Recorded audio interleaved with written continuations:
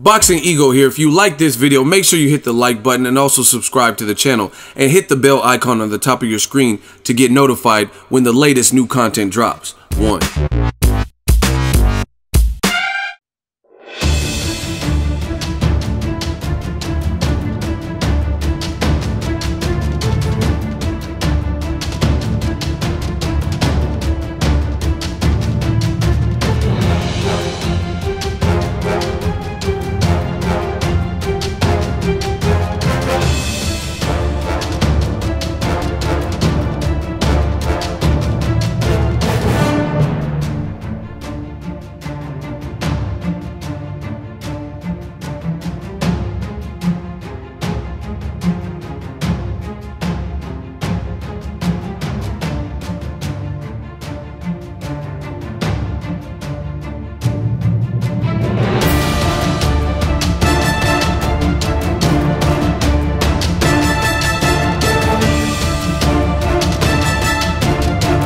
What up, Fight World? It's your boy Ego, and I'm back with some more boxing.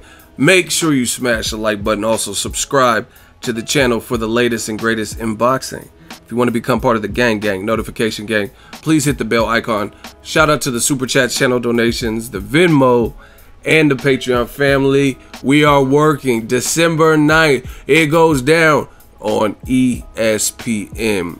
Shout out again to Top Rank and Roc Nation for making this happen. Now, you've seen the clip at the beginning. Also, shout out to Mundo Boxing.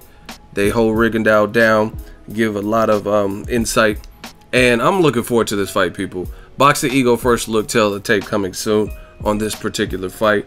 And this is a great way to cap off the year. We've had a great year. Now David Lemieux's getting a title shot with Billy Joe Saunders. Also in December, you get to see Miguel Cotto. He's fighting Saddam Ali. Also in December, you have Vasily Lomachenko versus Guillermo Rigondeaux. So, going to be a great month and a great next couple of months, actually.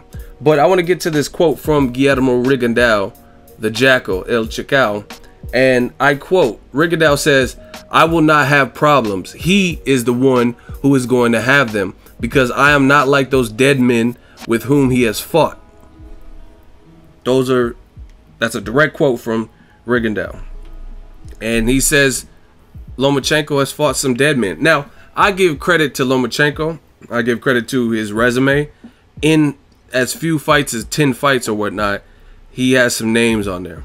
So his amateur pedigree and fighting in the pre before he turned pro in the World Boxing Series or whatever it was called, it shows because he, you know, I mean, you don't just most guys like a Shakur Stevenson, they have Olympic pedigree too, but you you see them fighting low level opposition, Mike Conlan, Mick Conlan. They're they're not fighting big names, right? Oscar Valdez, they haven't fought the Gary Russells and stuff in their division as of right now because they're building up to that, right? So that makes sense. But Lomachenko, Lomachenko has been on the fast track, so I give him credit. But as far as the dead man comment, I thought that was interesting from Rigondeaux, and I do think Rigondeaux has a point in terms of Lomachenko since Salido. Salido was a super live dog, and that's the guy that beat him. But to me, he hasn't really fought anyone that I thought would even do better than what they actually did. Miguel Marriaga lost to Nicholas Walters, got knocked down. Lost to Oscar Valdez and got knocked down. Right, and then he moved up in weight and and took on a champion like Lomachenko. So I really didn't see Miguel Marriaga doing anything with him. Lomachenko fought on some, I think on Pacquiao undercards when they were in Macau, China, and I don't even know who he's fighting. He looked damn good in the fight, but again, it wasn't against major competition, right? And then you look at the other names like Jason Sosa. Yeah, Jason Sosa, I don't know if he's still a champion because I don't even know if his belt was eligible, but he did beat Javier Fortuna. He definitely lost to Nicholas Walters, even though they, despite what the judges said, Walters should have won that fight, right? And he he lacks amateur experience. Like he he literally had like I think less than 10 amateur fights. Lomachenko has close to 400. You know what I mean? Lomachenko just now almost has 10 pro fights. So there's a big experience gap for that. And you could be as tough as nails and stuff like that, but unless you have some massive power, like maybe even a, like a Gervonta Tank Davis, but Tank Davis actually has an amateur pedigree. He has like over 200 Amis. Jason Sosa didn't, so I really didn't see him doing anything. Nicholas Walters was a very good win in name on Lomachenko, but he didn't have much momentum. He was coming off a draw and a year plus layoff in which he gained a lot of weight in that offseason and top rank starved him out, didn't give him any fights in between.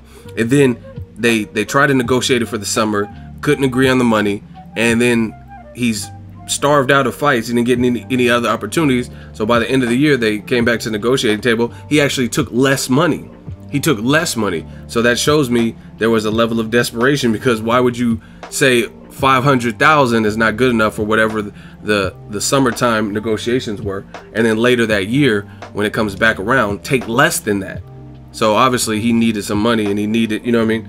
He, he was these fighters have lives and mortgages and all types of stuff like that. So he took it, and his performance was piss poor. Like it didn't even look like the Axeman, and some of it you have to credit to Lomachenko for getting off first, but he just looked like a, a discouraged man. Like he basically quit in the fight. Lomachenko was hitting him, and he just couldn't.